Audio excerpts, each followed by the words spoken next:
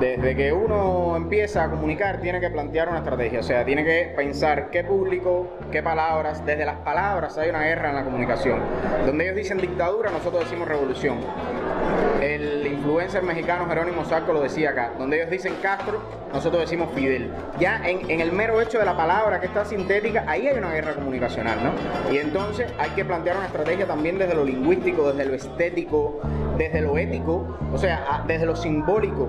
Hay una serie de factores que hay que plantearlos estratégicamente. ¿A qué público le vas a hablar? ¿Con qué mensaje? ¿Y para qué? Y ahí entonces ya te vuelves un sujeto activo y te vuelves un militante, que yo creo que es eh, el, el, foco, la meta que tiene que tener todo comunicador. Ser un militante, no ser una figura neutral, una figura que está en el medio de los acontecimientos, dice que, dice que cuenta los hechos, pero no toma partido. Yo creo que en ese sentido yo soy muy granchiano, ¿no?